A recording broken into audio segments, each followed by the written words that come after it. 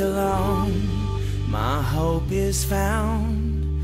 He is my light, my strength, my Lo primero con lo que nos encontramos en el Sermón del Monte son las bienaventuranzas. Y en el Sermón del Monte se describe el carácter del cristiano. En muchas oportunidades mencioné mientras estudiábamos las bienaventuranzas que las bien- bienaventuranzas no son una serie de reglas que la gente, que la gente debe hacer para lograr ser cristianos. De hecho, una de las predicaciones fue esta que le pusimos como título ser o hacer. Esa es la cuestión. ¿Cuál es la cuestión? Y hablábamos de que no era practicar los consejos que nos decían las bienaventuranzas lo que nos llevaba a ser salvos, sino que solo una persona salva podría comportarse como lo dicen las bienaventuranzas. Amén. Esa fue la primera parte, el carácter del cristiano. También posterior a eso, la segunda sección del Sermón del Monte, el Señor Jesucristo interpreta correctamente la ley de Moisés, que fue lo que estuvimos viendo últimamente. Y entra en el Sermón del Monte otros personajes, ya no son las personas que son salvas, no, son- es un discurso dirigido a las personas eh, creyentes, verdaderos y salvos, sino que entran otros personajes además de los ya descritos en las bienaventuranzas. Y estos personajes que entran en juego son los fariseos. Los fariseos habían amañado la ley de Dios y la habían amañado para su propia perdición. Ellos pensaban cambiarla, modificarla, desviarla muy sutilmente para bajar los estándares de la ley y así poderse ellos autollamar irreprensibles.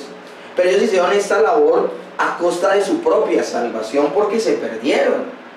La ley de Dios, la finalidad de la ley de Dios, es apuntar y señalar a lo malo que es el corazón del hombre, para que ese corazón reconozca su maldad y su incapacidad y por eso corra a Dios en salvación. Romanos 3, 19 al 20 dice, pero sabemos que todo lo que la ley dice, lo dice a los que están bajo la ley, para que toda boca se cierre y todo el mundo quede bajo el juicio de Dios. Ya que por las obras de la ley ningún ser humano será justificado delante de él, porque por medio de la ley el conocimiento, vino el conocimiento del pecado. Entonces, la, eh, la finalidad de la ley de Dios no era que la gente la cumpliera cabalidad, sencillamente la ley de Dios quería evidenciar lo malo del corazón del hombre y que el hombre en su humillación y en su reconocimiento elevara sus ojos al cielo y clamara por ayuda. Agustín de Hipona hizo una de las oraciones que trajo una revolución a nivel de la teología en su momento y él le decía a Dios en oración, Señor, dame lo que me pides y ahí sí pídeme lo que quieras. Y esa oración es muy profunda porque habla de un ser que es incapaz de, de obedecer a Dios perfectamente. Y al ver su incapacidad lo que hace es clamar a Dios pidiéndole ayuda.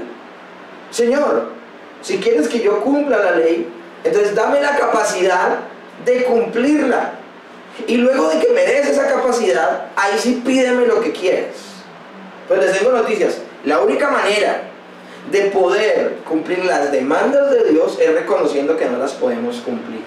Y al reconocer que no podemos obedecer perfectamente, es donde se vuelve, y entendemos lo perdidos que estamos, se vuelve de importancia el nombre del Señor Jesucristo. Se vuelve protagonista el Señor Jesucristo en, esta, en, este, en este plan de salvación. Porque si tú no te puedes salvar a ti por ti mismo, si tú no te puedes salvar por tus propias obras, necesitas en ese momento de reconocimiento de que estás perdido, necesitas a un Salvador. Y acudes a Él y lo abrazas. Y aceptas que Él sí vivió la vida perfecta que tú no pudiste vivir. Y aceptas el sacrificio perfecto que Él pudo ofrecer, que tú y yo no podemos ofrecer. Y en ese momento somos salvos. Ayer evangelizaba a, una familia, una familia con, con fuertes influencias de los testigos de Jehová. Y durante toda la, pre- toda, toda la presentación del Evangelio, eh, una de las personas que escuchaba dijo una de las frases más tristes que he escuchado últimamente. Esta persona me decía, estoy completamente de acuerdo contigo en todo lo que has dicho. En el único puntico en que no estoy de acuerdo es en que Jesús es Dios. Y yo le decía a ella, voy a hablar muy irónicamente con el pequeño comentario que voy a hacer. La bobadita, le decía yo, la bobadita.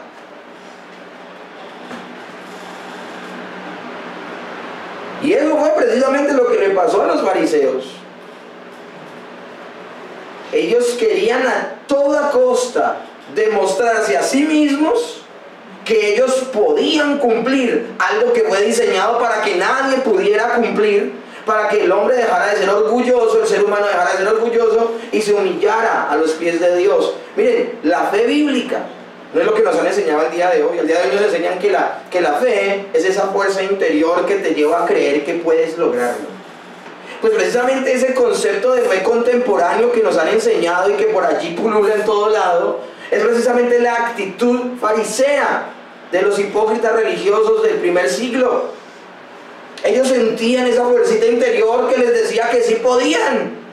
Pero la fe bíblica es todo lo contrario. La fe bíblica, si ustedes quieren retratar en una imagen qué es fe, fe salvífica, en una imagen se podría retratar un hombre de rodillas, con las manos arriba, clamando a Dios por ayuda porque le quedó grande salvarse a sí mismo. Esa es la verdadera fe. Esa es la verdadera fe salvífica, porque en una condición tal como esa es que la gente está abierta a abrazar a Cristo. Está abierta a creer que Él es el Hijo de Dios. Pero lastimosamente la mayoría de las personas no tienen de manera natural humildad, sino arrogancia, orgullo y hipocresía.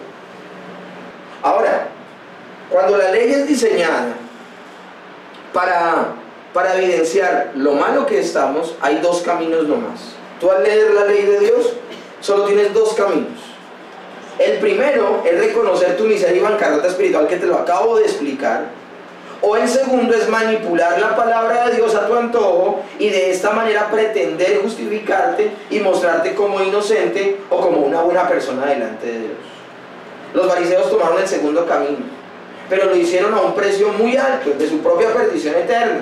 Y aquellos, como los que se comporten como los fariseos, empiezan a andar ese mismo camino y tendrán el mismo final. Siempre han existido, tanto en los tiempos de Cristo como en los tiempos del día de hoy, personas que tuercen la escritura para su propia perdición. Y lo dice 2 de Pedro 3 del 15 al 16.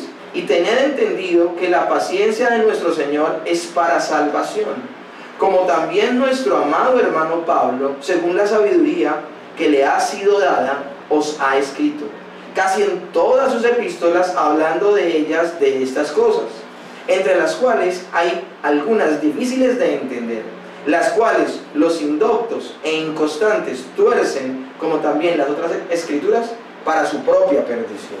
Si una persona toma la escritura y la cambia, la modifica, lo hace a costa de su propia perdición. Que los fariseos sean el ejemplo puesto por Jesús no implica que este sea un problema exclusivo de ellos. No nos podemos engañar pensando eso. Yo les conté a ustedes en alguna oportunidad de cuando proyectamos en la iglesia en Bogotá la película de la Pasión de Cristo. Proyectamos la película, se la mostramos en algunos cines a muchas personas y la gente salía consternada, yo no le hacía preguntas de diagnóstico a la persona, ¿qué te pareció la película? Como una excusa para predicarles el Evangelio. La gente no le iba a hacer el kit a una entrada gratis a cine. Entonces tenían que escuchar las preguntas que uno le hacía y la mayoría de gente decía, no, esos romanos son malos. Uy, no, esos judíos terribles. Ellos fueron los que mataban a Jesús. Eso es una actitud hipócrita. Es una actitud pensar que los malos de la película fueron los que ya vivieron la película. No, al día de hoy existe gente tan hipócrita y tan dañada y torcida como los mismos fariseos. Y miren, ustedes dirán que hoy me levanté de mal genio, pero no, no, ese no es mi, ese no es mi objetivo. Pero puede haber gente así sentada hoy en la iglesia. Gente que se engaña a sí mismo pensando que es algo que realmente no lo es. Y este es el pequeño preámbulo al texto que vamos a leer hoy de las Escrituras, porque así como las bienaventuranzas tenían un objetivo, y también que el Señor hablara de lo que verdaderamente significaba la ley, esta porción que vamos a leer de las escrituras tiene un propósito claro y es hablar de la actitud que tú tienes con tu piedad. Ahora, ¿qué es la piedad? Términos como piedad o impiedad, ¿qué significa? Piedad es esa tendencia a tu buscar de Dios.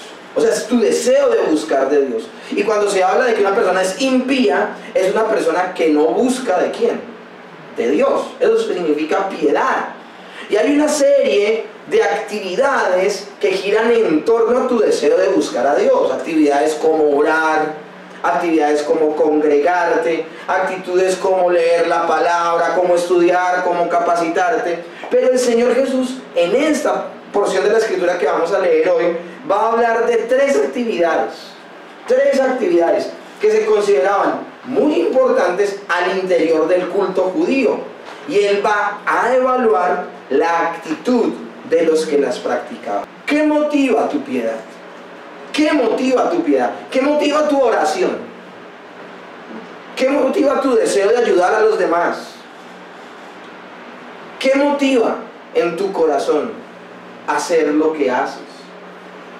Cuando hablamos de que los fariseos disminuyeron la ley para poderla cumplir, la bajaron de su estándar natural para poderla cumplir, la manipulan, ellos lo hacen con el objetivo de verse bien a sus propios ojos. En realidad ellos no buscaban agradar a Dios, se buscaban agradar a sí mismos. Y en su deseo de agradarse a sí mismos en muchas oportunidades fingían. Y eso es lo que podemos ver que aún puede suceder en la iglesia del día de hoy. Y cuando hablo del término hipocresía religiosa, que tenemos que hablar hoy, si hablamos de honestidad en la, en la piedad, también tenemos que hablar del problema del sofisma que está sucediendo al interior de la iglesia, que es la hipocresía religiosa. Me estoy refiriendo a las prácticas que llevamos a cabo dentro del contexto de la religión que profesamos. Es decir, prácticas que tienen que ver directamente con asuntos pertenecientes a la religión. Y vuelvo y se lo repito, en este caso, en el del texto que vamos a leer hoy, la oración, el ayuno y el dar generosamente a los que necesitan dentro de la obra de Dios. Los fariseos que pretendían ser personas justas por su propia cuenta, eran personas que todo lo que hacían tenía un solo objetivo, llamar la atención de los hombres y ganarse su admiración. Ese era su propósito. Y Jesús les llama hipócritas. Y es de esa hipocresía la que el Señor va a exponer y va a pedirle a sus discípulos que se guarden de ellos. Amén. Lo que vemos, lo que vamos a ver esta mañana es la exposición del texto bíblico en el motivo que yace tras nuestros actos religiosos o vida piadosa, como quiera llamarle cada uno de ustedes. Es lo mismo, pero podemos optar desde ya por el término vida piadosa más bien, que creo que es más apropiado. Vida piadosa. ¿Qué motiva tu vida piadosa? Entonces vamos a iniciar. Vamos a hacer algo. Voy a leer los versículos de Mateo del 1, Mateo 6, del versículo 1 al verso 6. Ahí hago un alto en el camino y voy a leer Mateo capítulo 6 del verso 6, de 16 al 18. Y tú dirás, bueno, ¿por qué haces esto si la predicación es expositiva? Porque del 1 al 6 y del 16 al 18 habla de tres aspectos de las actividades piadosas que hacían los judíos, que eran cuáles? La oración, el ayuno y el dar limosnas. Y la otra sección que estás evitando leer, esa es la sección del Padre Nuestro. Y la voy a evitar por qué razón? Porque va a haber un tiempo muy largo y extenso donde vamos a hablar de la oración y cada sección del Padre Nuestro. ¿Ok? Entonces, sencillamente, como no es el objetivo de la, de la predicación de hoy, no es no es la idea del, del, del, sermón de hoy hablar en particular de la oración, sino de lo que motiva nuestras prácticas piadosas, por eso me abstengo de leer. ¿Ok? Pero entonces doy esta explicación como para que más o menos lo entiendan. Entonces vamos a ir con el verso 1. Guardados de hacer vuestra justicia delante de los hombres, para ser vistos de ellos. De otra manera, no tendréis recompensa de vuestro Padre que está en los cielos. Este es el texto introductorio que usa Mateo para exponer lo que predicó el Señor Jesús en esta parte en particular. Y el texto introductorio a la sección que tenemos por delante es maravilloso, porque el Señor Jesucristo empieza diciendo esa mañana en que estaba hablando, guardaos, guárdate iglesia, iglesia amada, guárdate de ciertas actitudes. Y esta expresión guardaos quiere decir tengan mucho cuidado, presten especial atención. ¿De qué está el Señor Jesús diciendo que nos guardemos? De llevar una vida piadosa con los motivos equivocados. Eso es de lo que nos está hablando el Señor. De llevar una vida piadosa, una vida de búsqueda de Dios, pero con los motivos equivocados. Cuídate, amada iglesia. Presta atención en lo profundo de tu corazón. Que la piedad que muestras no sea un asunto de apariencia. La pregunta aquí del millón es, ¿tú lo que haces en la iglesia lo haces en tu casa? Como te comportas aquí en la iglesia, te comportas en tu casa. Lo que te motiva lo que haces acá al interior de la iglesia también es una conducta tuya recurrente en tu casa o cuando nadie, y ni siquiera hablemos solo de la casa, cuando nadie te ve. Un hombre de Dios decía, tú eres lo que eres en lo secreto, el resto es reputación. O sea, tú verdaderamente eres quien eres, no acá en la iglesia, sino cuando nadie te ve, ese eres tú. La justicia de los fariseos, la justicia que practicaban ellos, surgía no de una justicia genuina, no surgía de un corazón transformado por el Señor, sino que era una justicia o práctica de la justicia que brotaba de un corazón egoísta, pero también vanidoso. Y cuando uno tiene un corazón egoísta y vanidoso, el único motivo era ganarse el aplauso y la admiración de las personas. Tengamos cuidado, mis hermanos, no sea que la justicia que practiquemos nosotros nuestra vida piadosa que llevemos sea una mera fachada muy similar a la que los fariseos practicaban y tenían. Algo que hagamos para ganarnos el aplauso y la aprobación de los demás no agrada a Dios. No agrada a Dios. A esas alturas entonces alguien puede preguntar, bueno, pero me confunde un poco porque en sermones anteriores nos has motivado y la escritura nos ha motivado a que la gente vea nuestras buenas obras. Alguien podría decir eso, ¿no? ¿Cómo así que aquí el Señor nos está diciendo que lo que hagamos, lo hagamos en secreto? Cuando nos ha dicho pasajes anteriores que nuestras buenas obras las vean los hombres. ¿No es esto una contradicción? Y miren, lo veíamos antecitos, Mateo 5, del 14 al 16. Eso es lo maravilloso de la predicación expositiva. Mateo 5, del 14 al 16 dice, vosotros sois la luz del mundo. Una ciudad asentada sobre un monte no se puede esconder. Ni se enciende una luz ni se pone debajo del almud, sino sobre el candelero. Y alumbra a todos los que están en casa. Así alumbre vuestra luz delante de los hombres, para que vean vuestras buenas obras, para que vean vuestras buenas obras y glorifiquen a vuestro Padre que está en los cielos. La pregunta, ¿se contradice la escritura? Nos dice anteriormente que la gente vea nuestras buenas obras, pero ahora nos dice que las hagamos en lo secreto. ¿Se está como contradiciendo la escritura? En absoluto, no. No hay ninguna contradicción en los textos que estamos leyendo y estamos meditando el día de hoy. Al contrario, tenemos dos textos que apuntan a una misma cosa y es la gloria de Dios. Miren lo que dice. Así alumbre vuestra luz delante de los hombres, para que vean vuestras buenas obras y glorifiquen a vuestro Padre que está en los cielos. En el caso de hacer que nuestra luz alumbre delante de los hombres, el propósito principal es que los demás, al ver nuestras buenas obras, glorifiquen el nombre de Dios. En este caso, quiero que los hombres vean las buenas obras porque anhelo ver que los hombres se vuelvan a Dios, exalten su nombre, lo glorifiquen. Amén. Así como cuando un cristiano no actúa conforme a la fe que, que profesa y el nombre de Dios es, eh, se le da un mal nombre, que escúchenme bien el peso que tienen las, las buenas o las malas obras de un creyente. Las buenas obras de un creyente pueden hacer que más gente se convierta. Su buen testimonio puede hacer que la gente se convierta. Pero también nuestro mal comportamiento, si otros lo ven, puede hacer que otras personas dejen de venir al Señor. Lo dice Romanos 2.24, por, como está escrito, el nombre de Dios es blasfemado entre todos los gentiles por causa de vosotros.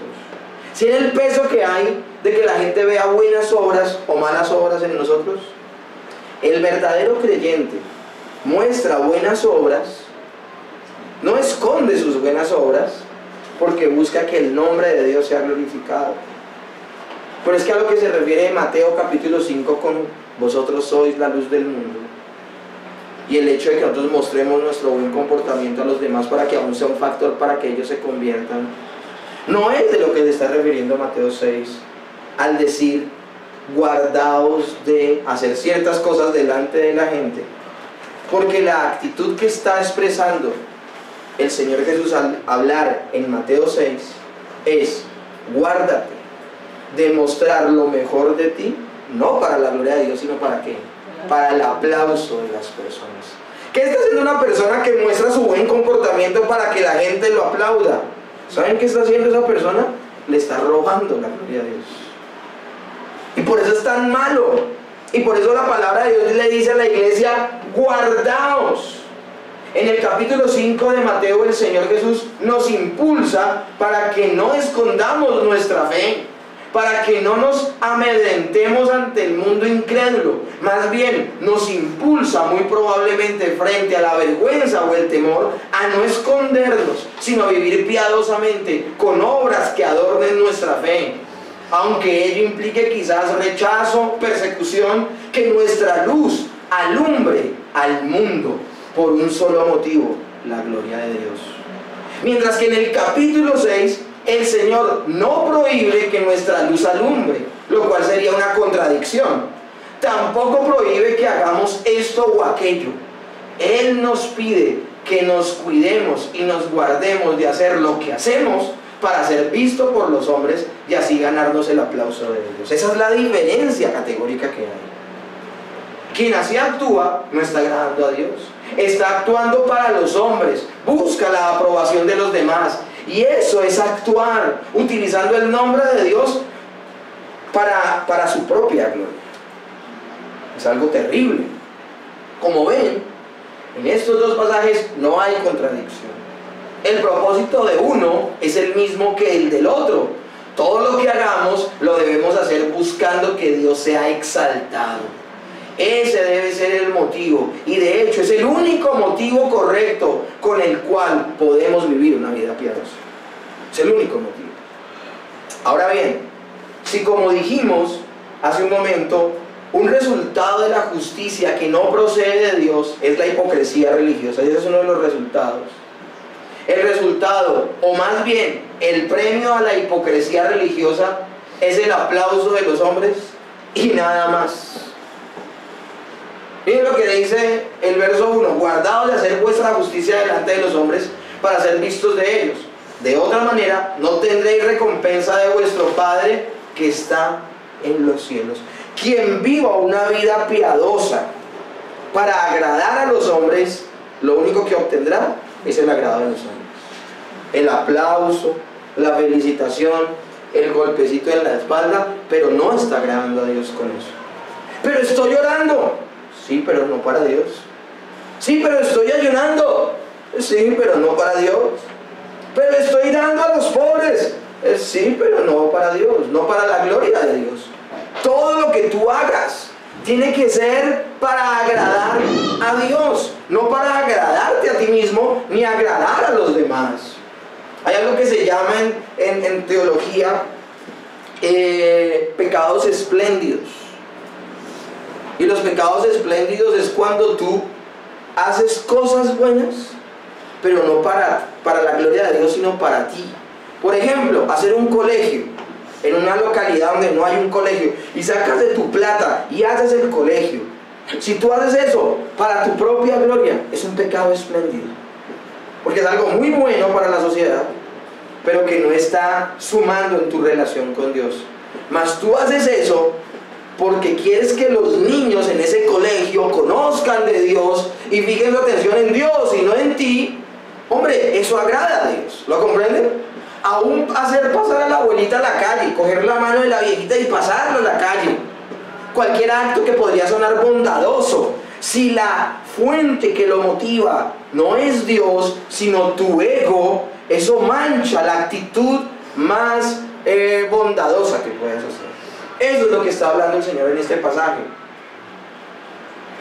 O qué hombre, qué mujer más piadoso, dirá la gente. Eres de admirar, dirán algunos. Mira todo lo que hace. Eso es todo. Ahí estará tu recompensa, el aplauso de los mortales, no más. Eso es lo que estabas buscando.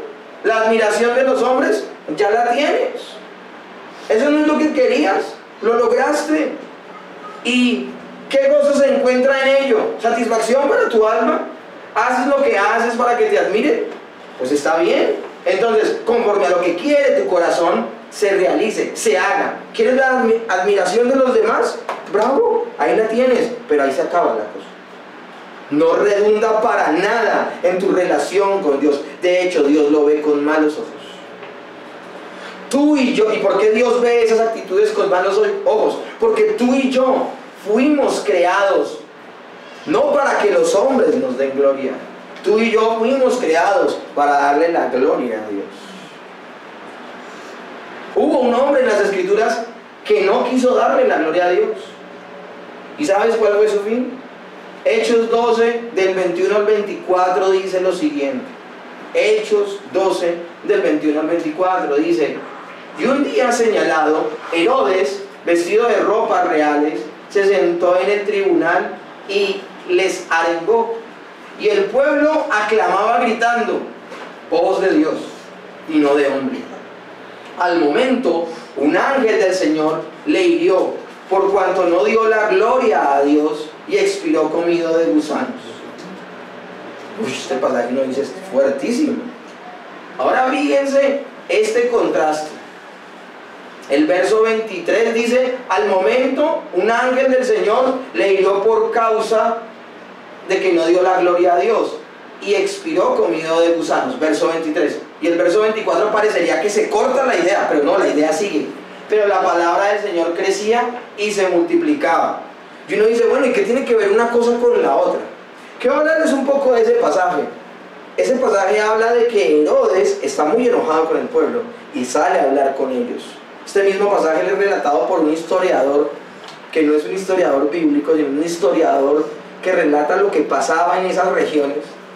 Y él habla, este historiador habla, de que el vestido que tenía Herodes era un vestido que era como plateado. Y como él sale alrededor del mediodía, el sol le pegó al vestido y él brillaba como un ángel. Y la gente de esa región, altamente supersticiosa, lo tomó como que él era un, lo que él estaba hablando, que se les arengó, o sea, les estaba regañando y cuando les estaba hablando de esa manera, dice la palabra que la gente, eso que estaba viendo, lo tomó como que él era un ser divino, un ser celestial. Y empezaban a decir, voz de Dios y no de hombre. ¿Y saben qué hace Herodes? Nada. Herodes permite que ellos le adoren. Y lo que dice la escritura, y los que están en el seminario virtual, lo vimos la semana pasada, saben que si lo dice la escritura, no solo es autorita, autoritativo, sino que es completamente veraz e inerrante. Y la palabra dice que lo hirió, a Herodes lo hirió un ángel y murió comido de gusanos. Una cosa terrible. Y esto nos deja ver cómo Dios ve de tal manera al hombre que le pretende quitarle No es inseguridad de parte de Dios. Él trasciende a su creación. Es inmanente a su creación. Dios no necesita, escúchenme bien, Dios no necesita de tu gloria. De que tú le des gloria, no lo necesita. Pero Él no solamente es nuestro Dios, Él también es nuestro Señor. Él no va a dejar de ser Dios porque tú no le glorifiques. Pero si tú lo tienes a Él como tu Señor, Él demandará que tú le des gloria. ¿Me están comprendiendo? Él sin que tú le des gloria, Él puede seguir siendo y seguirá siendo el mismo Dios y quiero dejar eso claro. Él no se debilita porque tú no le das la gloria. No es inseguridad de parte de Dios y por eso hiero a Herodes porque es que se me están descarrilando. No para nada. Dios no deja de ser Dios. Dios trasciende a su creación. Pero es que Dios no solamente es nuestro Dios y esa parte emocional y sentimental y de corazón. Dios también es nuestro rey. Y como rey que demanda que le demos gloria. Amén. Y esto es lo interesante del asunto. Que por el otro lado está muriendo Herodes, pero lo que dice el autor bíblico, en este caso en Hechos, Lucas, dice, pero la palabra del Señor crecía y se multiplicaba. Y yo veo en otro pasaje estos dos contrastes. El orgullo humano, pero el poder de Dios. Y el otro pasaje donde lo veo es Primera de Pedro 1 del 24 al 25. Miren lo que dice Primera de Pedro 1, 24 al 25. Porque toda carne es como hierba y toda la gloria del hombre como la flor de la hierba. La hierba se seca y la flor se cae. Mas la palabra del Señor permanece para siempre. ¿Tiene el contraste? Y ese contraste de primera de Pedro 1, 24 25 lo vemos en Hechos. Vemos cómo se marchita el hombre que quería gloria para su propia vida. Pero mientras se marchita el hombre, crecía la palabra de Dios. Y más personas eran leudadas por el Evangelio. Maravilloso. Eso es la verdadera piedad. Amados hermanos, escuchemos a nuestro Señor cuando nos dice, guardaos, guardaos, guardaos. Tres veces el Señor habla de lo mismo. Hay una palabra que Jesús va repitiendo en esta sección y es la palabra hipocresía. Jesús le dice a sus discípulos, cuando deis limosnas, no seas como los hipócritas. Cuando ores, no seas como los hipócritas. Y cuando ayunes, no seas como los hipócritas. La palabra hipócrita significa actor. Y fue un término acuñado por los griegos para referirse a los bufones. Los bufones eran los arlequines, los payasos de la corte. O sea, ¿a quién se referían los griegos cuando hablaban de hipócritas? A los actores, pero en particular a una clase de actores, a los bufones. Y la expresión ser visto que tenemos en el versículo 1, cuando dice guardados de hacer vuestra justicia delante de los hombres para ser vistos de ellos, tiene el mismo origen, eso de ser visto, tiene el mismo origen etimológico para la palabra teatro. Entonces tenemos aquí varios elementos interesantes. En otras palabras, lo que le dice el Señor a sus discípulos es, tengan cuidado y velen para que sus actos de piedad no sean como la vida de un actor, que en el teatro hace un papel para ganarse el aplauso del público, pero una vez fuera del teatro y lejos de la vista del público, esos actos piadosos quedan a un lado porque el único interés al actuar de ese modo es ser admirado. Uy, esto es, esto es impresionante. Y por eso me encanta y soy un fan de la predicación expositiva. Porque vemos cómo el Señor en las bienaventuranzas establece el carácter del creyente. Y luego vemos cómo el Señor Jesús establece la ley de Dios en el lugar que merece, demostrando que los fariseos la habían manipulado. Pero ahora le habla nuevamente en general a sus discípulos y les dice, ojo, ustedes que tienen el carácter de Cristo, ojo en caer en el camino de los hipócritas. Ojo con actuar con sus manifestaciones de fe. Ojo con tener una piedad fingida. En el versículo 1 de este capítulo 6, este mensaje central de toda esta porción que va hasta el versículo 18. En el versículo 1 de este capítulo 6 está el mensaje central de toda esta porción que va hasta el versículo 18. Lo que sigue a continuación son tres ejemplos que describen la motivación correcta detrás de cada acto de piedad. Jesús habla entonces de las limosnas, la oración y el ayuno. porque para los judíos las tres prácticas religiosas de las cuales se cimentaban todos los demás actos piadosos eran estas. Entonces vamos a hablar de ellas. Obviamente nos va a tocar hablar de algunas, hacer algunas aclaraciones de algunas, porque tenemos una concepción al día de hoy desde Occidente incorrecta de algunas prácticas. Mateo 6 del 2 al 4 sigue diciendo, cuando pues des limosna, no hagas tocar trompetas delante de ti, como hacen los hipócritas en las sinagogas y en las calles para ser alabados de los hombres. De cierto os digo que ya tienen su recompensa. Mas cuando des limosna, no sepa tu izquierda lo que hace tu derecha, para que tu limosna sea en secreto, y tu Padre que ve en lo secreto te recompense. Me llama la atención algo. Lo primero que debemos definir es la palabra limosna. Limosna es un acto de misericordia o una obra de misericordia. Cuando nosotros escuchamos la palabra misericordia casi siempre se nos viene a la cabeza cuando íbamos a la iglesia católica y pasaban en el tiempo de la limosna la bolsita, yo nos sacaba las moneditas y las daba. Entonces uno asocia la limosna, la palabra limosna, lo asocia con lo que le sobra. Pero también uno lo asocia con la ofrenda. Y yo les tengo noticias, este pasaje no está hablando de la ofrenda. Hay gente que usa este pasaje para predicar de la ofrenda en el momento de recoger la ofrenda y el diezmo. Y eso no está bien. Porque limosna en el contexto judío no hablaba de la ofrenda que se le daba a Dios. Cuando los judíos hablan de limosna, hablaban de la misericordia hacia el pobre y el afligido. En el Antiguo Testamento son abundantes los pasajes en los que Dios manda a su pueblo a buscar el cuidado y protección de los más necesitados. Para leer tan solo un ejemplo de ello, miremos lo que dice Levítico 19 del 9 al 10. Esto yo lo leí cuando les explicaba sobre Ruth. Miren lo que dice Levítico 19 del 9 al 10. Cuando ciegues la miel de tu tierra, no cegarás hasta el último rincón de ella, ni espigarás tu tierra cegada, y no rebuscarás tu viña, ni recogerás el fruto caído de tu viña.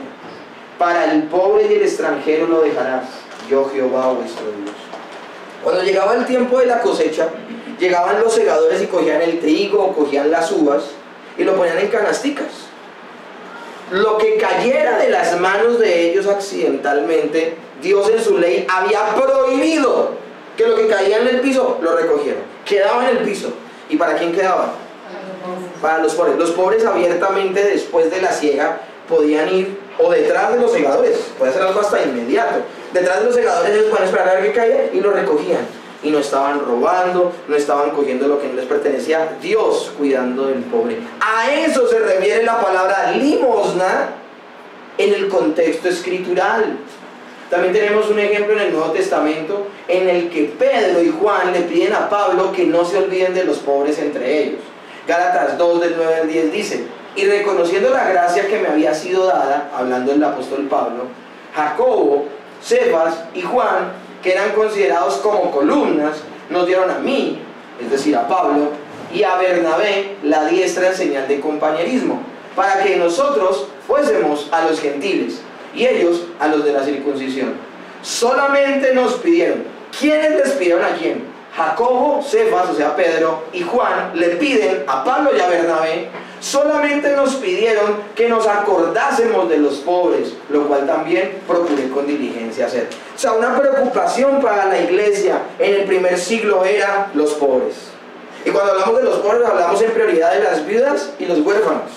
Hablamos de personas que habían caído en un momento de bancarrota, de no tener dinero y no tener para sus necesidades básicas. Siempre para la iglesia ha sido una preocupación. Los que no tienen cómo ver por su vida, el pueblo de Dios siempre ha tenido claro que debe preocuparse por aquellos que entre ellos son menos favorecidos.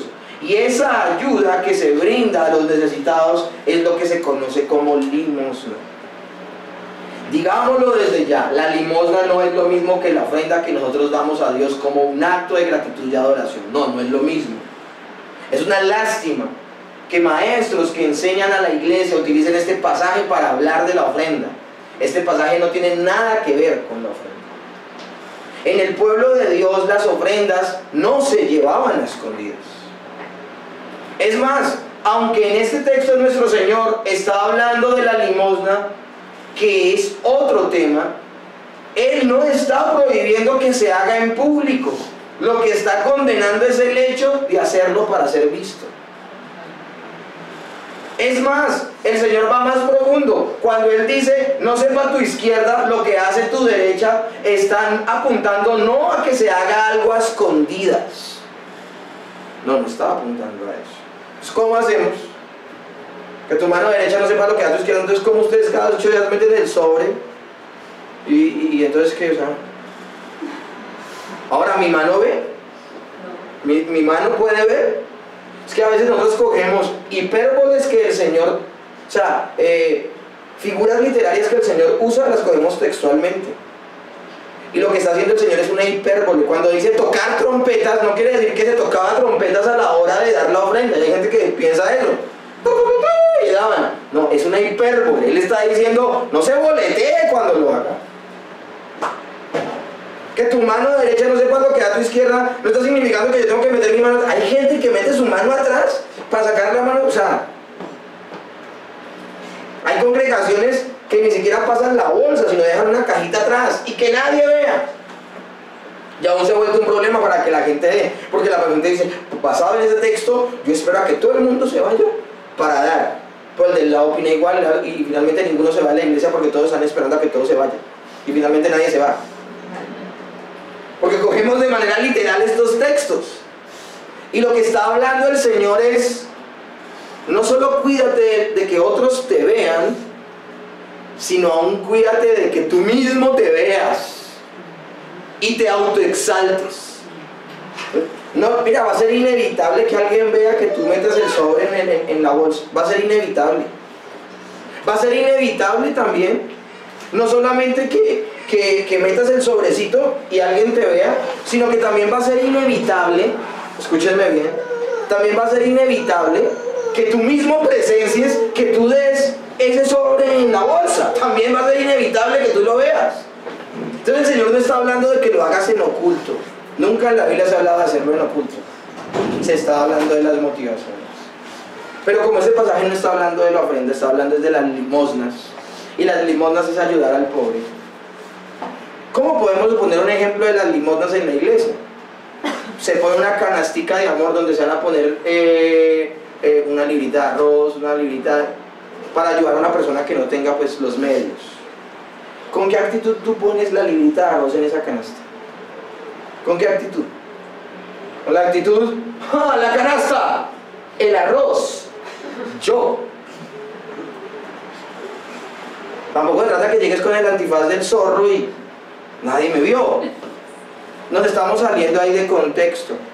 El Señor está hablando es, como es el título de la predicación de hoy, ¿qué te motiva a hacerlo? ¿Lo haces para la gloria de Dios? Acá, por ejemplo, en la iglesia no hay una canasta de amor. Pero, por ejemplo, viste a una persona que está con necesidades en la congregación y le ayudas. Pero luego de ayudarlo inmediatamente le cuentas a todo el mundo que le ayudaste. A eso se refiere el pasaje. Se refiere a que lo hagas es para la gloria de Dios, no para tu propia gloria. Samuel Pérez Millos lo dice de una manera maravillosa. Este pasaje se refiere a no decirse a sí mismo, cuando habla de que tu mano derecha no sepa lo que da tu izquierda, se refiere a no decirse a sí mismo en lo profundo de su corazón, cuando de, soy el mejor de los que dan limosnas para ser vistos. Sí, yo lo hago a escondidas. No soy como los hipócritas que lo hacen para ser vistos. Pero está cayendo en el mismo acto de hipocresía, porque aunque nadie lo vio y lo hizo escondido, su yo lo está viendo. Pastor, así de profundo es la manera en que el Señor nos cuestiona y nos evalúa, sí. Sí. Tú puedes parecer la persona más humilde delante de los hombres, pero si aún tu humildad se vuelve un motivo para tener orgullo en tu corazón, actúas como el peor orgulloso. Porque es que no solo se trata de que la gente te vea, si dentro de tu corazón que el Señor va finalmente a ver tu corazón. Aquí el problema no es si te ven o no te ven. De lo que te debes guardar es de hacerlo para recibir la admiración de los hombres y no buscar la gloria de Dios. Segundo ejemplo, Mateo 6 del 5 al 6. Y cuando ores, no seas como los hipócritas, porque ellos aman el orar en pie en las sinagogas y en las esquinas de las calles para ser vistos de los hombres. De cierto os digo que ya tienen su recompensa. Mas tú, cuando ores, entra en tu aposento y cerrada la puerta, ora a tu Padre que está en lo secreto. Y tu Padre que ve en lo secreto te recompensará en público. Volvemos al mismo punto. ¿Está prohibiendo Jesús la oración pública? Y tú cuando ores, cerrada la puerta, ora a tu Padre que está en lo secreto y tu Padre que está en lo secreto te recompensará en público. El Señor está prohibiendo la oración pública. Si es así, no podríamos orar al principio del culto. Si es así, no podríamos orar al final del culto. Si es así, no podríamos orar unos por otros. Entonces, ¿de qué está hablando el Señor? Algo sí está muy claro. Cuando tenemos la responsabilidad de orar en público, hagámonos estas preguntas. ¿Nuestras palabras están dirigiendo a Dios o a los hombres? Y acá seamos de lo más honesto. Y el primero que se va a exponer soy yo. Porque hay veces que uno siente la tentación, ¿cómo sonará esta palabra? ¿Cómo lo tomará la congregación? Hombre, yo me tengo que olvidar en ese momento en que estoy orando con Dios, me debo olvidar de alguna manera, espero que me interpreten bien, me tengo que olvidar de los hombres no de la congregación, obviamente porque soy el pastor, pero yo no estoy dirigiéndome a la congregación. Sencillamente estoy permitiendo que la congregación ore, participe, oiga mi oración. Porque aún vamos a hablar de este tema cuando hablemos de, la oración modelo, más adelante. Porque hay congregaciones donde vamos a orar y uno orando por un lado y otro orando por otro y es un desorden y solo se para ese desorden cuando dice por allá, amén. También vamos a ver que la manera de orar en una congregación es que solo uno ore y el resto de la congregación en silencio aprueba lo que está orando la persona de adelante. ¿Me comprenden? La manera más organizada de orar. Y lo motiva la escritura. Entonces está contradiciendo si en otros pasajes de la escritura dice que oremos juntos y oremos congregacionalmente, acá donde dice no, ora a tu Padre que está en lo secreto. No, a lo que se está refiriendo es a con qué actitud hago esa oración pública. Nuestras palabras se están dirigiendo a Dios o a los hombres, es la pregunta que me debería hacer. ¿Quiero yo que los demás escuchen lo bonito que oro? Si es así, ya tenemos nuestra recompensa, porque el Señor ya lo prometió aquí. Digo, si tú lo haces para el aplauso, para la pupila de los que te ven, para que te exalten, ya recibiste tu recompensa oraste para los hombres, oraste para que los hombres te escucharan y te ganaste la admiración de ellos. Estupendo para ti, pero terrible en las cosas, en las cosas de Dios. Eso no para nada es un acto piadoso. Tu oración no fue realmente una oración. Tuvo una apariencia de oración, pero la verdad es que estabas dando un discurso a los hombres. Acerca de la oración, no me voy a detener en ese momento, vuelvo y le repito hablar de muchas cosas porque vamos a tener un tiempo bien extenso para hablar de la oración. Entonces finalmente voy a hablar del tercer ejemplo que el Señor da. Ya hablamos de las limosnas, ya hablamos de la oración, y ahora vamos a hablar de el ayuno. Mateo 6, 16 al 18. Cuando ayunéis, no seáis austeros como los hipócritas, porque ellos denudan su, demudan su rostro para mostrar a los hombres que ayunan. De cierto os digo que ya tienen su recompensa. Pero tú cuando ayunes, unge tu cabeza y lava tu rostro para mostrar a los hombres, para no mostrar a los hombres que ayunas, sino a tu Padre que está en secreto. Y tu Padre que ve en lo secreto te recompensará. Aquí la estructura es igual a los otros ejemplos y por eso no quisiera ser repetitivo, pero sí quisiera aprovechar para tratar de resolver un asunto respecto al ayuno. Que nosotros tenemos una, una fijación con el ayuno.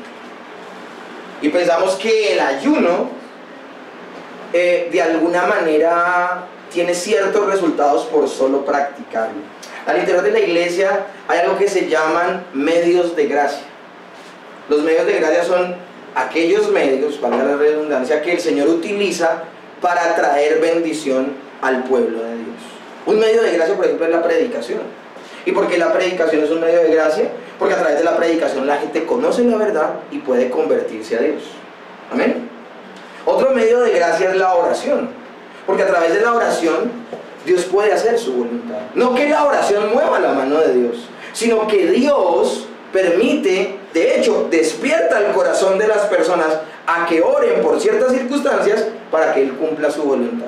Así como la predicación es usada para que la gente conozca la verdad, Dios también despierta el corazón de personas a que oren por ciertos asuntos para Él hacer su voluntad. Se llaman medios de gracia. El ayuno no es un medio de gracia. El ayuno siempre se vio en las escrituras como una señal de duelo y de gran dolor por una situación expresa de pecado. Ustedes van a darse cuenta en la escritura que se habla de que tal pueblo pecó contra Dios y fueron a una guerra y pelearon y perdieron. Y todos entraban en qué? En ayuno y oración. Por ejemplo, va Jonás, en esta semana le leía esa historia a Elisa, va Jonás a Nínive y él le dice a Nínive, el Señor va a venir de aquí a 40 días y los va a matar a todos, va a venir y va a acabar con, con todo el mundo. ¿Qué hizo el pueblo de Nínive? Inmediatamente entró en ayuno y puso a ayunar hasta los animales. ¿Pero por qué? Porque era una señal de profundo duelo y de dolor porque se había fallado contra Dios. Y casi siempre el ayuno estaba acompañado de que se vestían de ropas ásperas. Eran unas ropas que le picaban y les molestaban. Y encima de eso se echaban ceniza en la cabeza. Era una señal de duelo y de dolor. Ayuno acompañado de ropas ásperas y ceniza en la cabeza. Señal de profundo dolor. Si nosotros entendemos el concepto que tenía el ayuno en los tiempos bíblicos, dígame si tiene algo de parecido con lo del día de hoy. Dígame si tiene algo de parecido. No, es que voy a ayunar a ver si me sale cierto el puestico. Como, como, que. No, es que voy a ayunar para que fulana, para que la pecosa se fije en mí. A ver si me caso con la pecosa. Voy a ayunar por eso. Voy a ayunar. Y miren, yo no quiero ser despectivo todo lo malo que se hizo, toda práctica incorrecta que se hizo a nivel cristiano, yo la practiqué.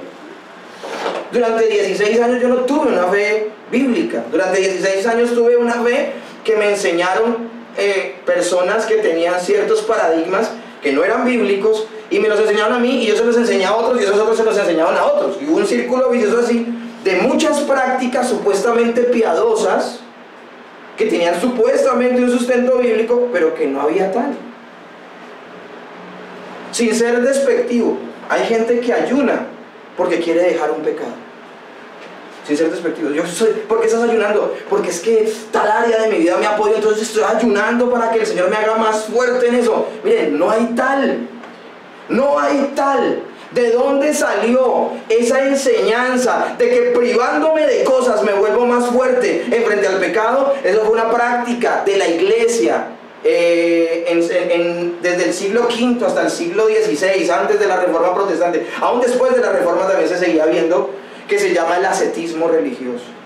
Y el ascetismo religioso es privarme de cosas que no son pecado, como el alimento, porque supuestamente me hacen más fuerte en frente al pecado.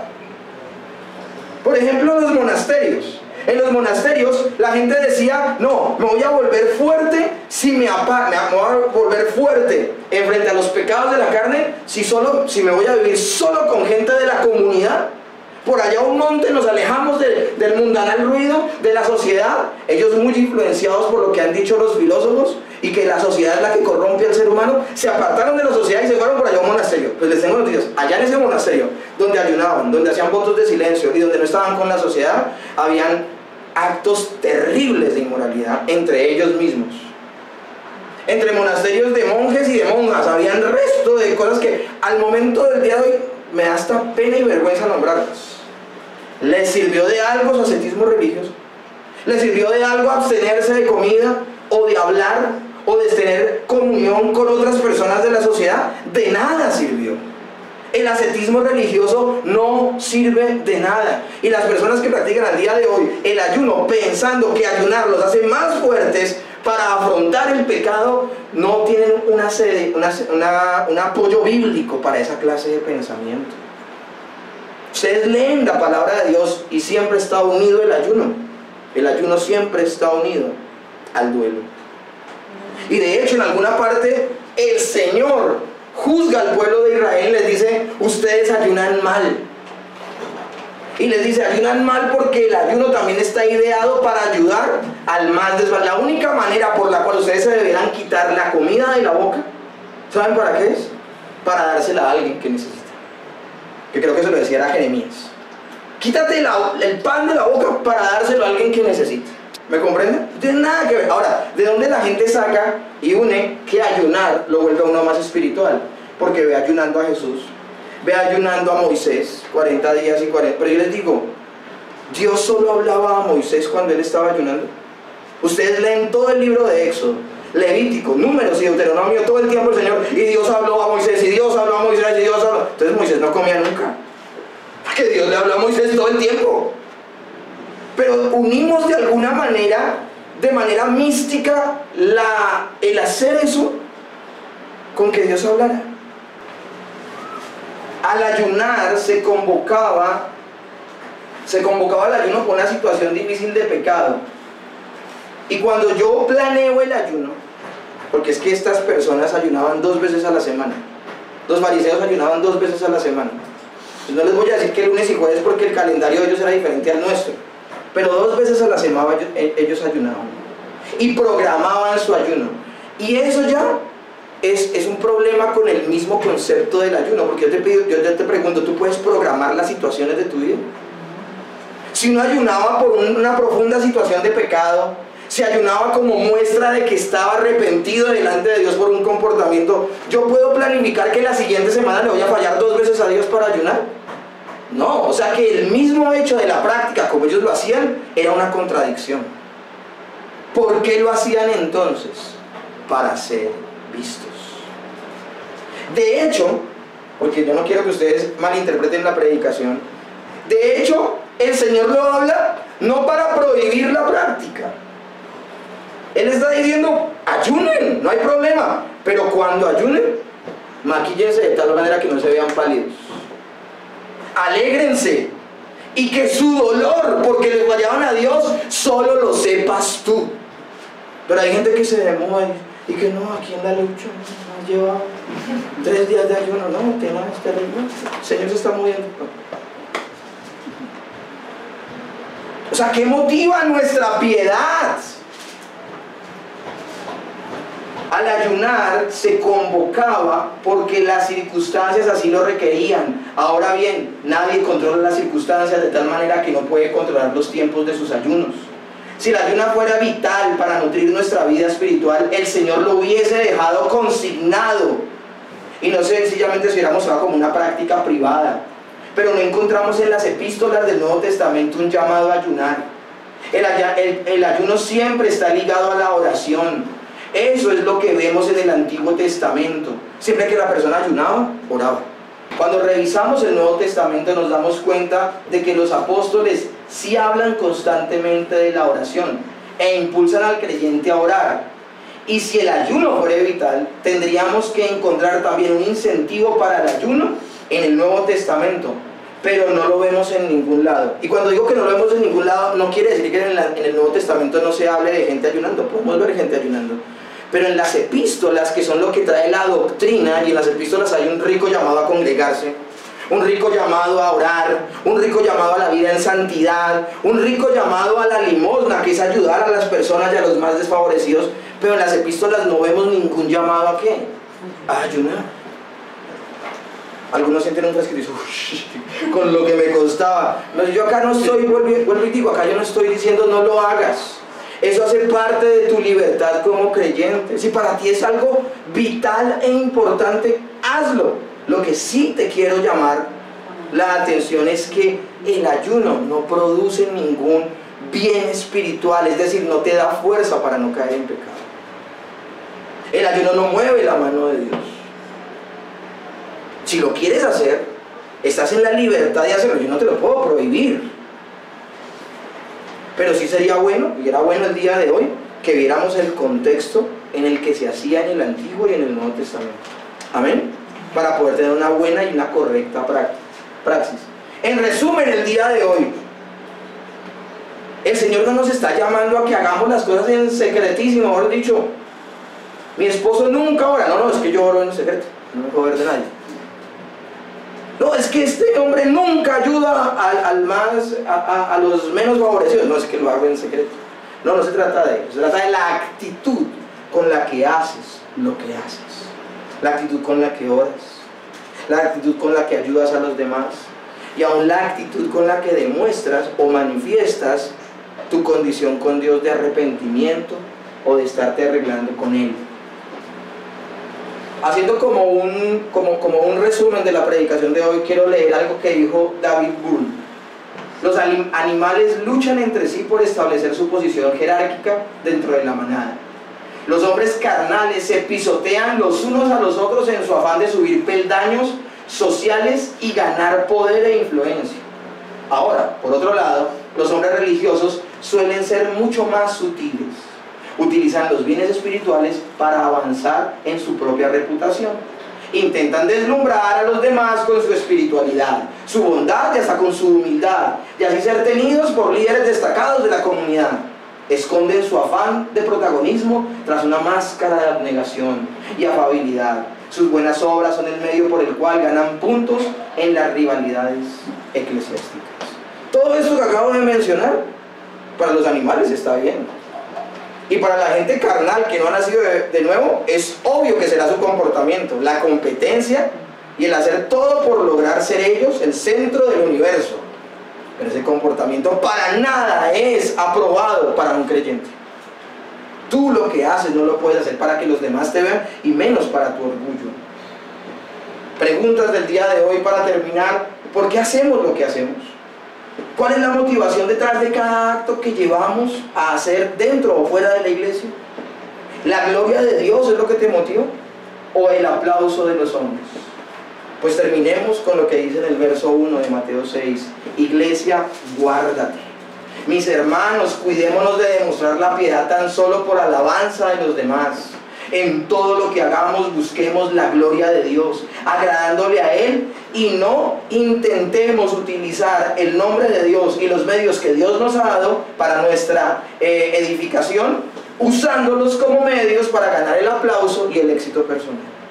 Ese es el tema central, donde el Señor Jesús le dice a sus discípulos en el Sermón del Monte, guárdense de hacer estos actos para la pupila humana, para el aplauso, para el golpecito en la espalda. Porque si lo haces con esa motivación, lo único que obtendrás es que te digan, bien, pero eso no redundará en el reino de Dios. ¿Por qué el Señor se detiene a hablar esto? Porque Él está hablando a una generación en el siglo primero, una generación que por mucho tiempo estuvo expuesta a una eh, doctrina hipócrita y farisea. Por eso el Señor quiere desestablecer lo que les enseñaron y empezar a hablar en términos de honestidad. ¿Qué te motiva a ti a la hora de ayudar a los demás? ¿Qué te motiva a ti en el momento de la oración? ¿Qué te motiva a ti aún en el tiempo de ayunar, si es que lo haces? O en el momento de demostrar al Señor que estás reflexionando en algo que en algún momento hiciste mal, pero ahora estás cambiando. Es entre tú y Él. Amén. Señor, en esta mañana yo te doy gracias por tu palabra.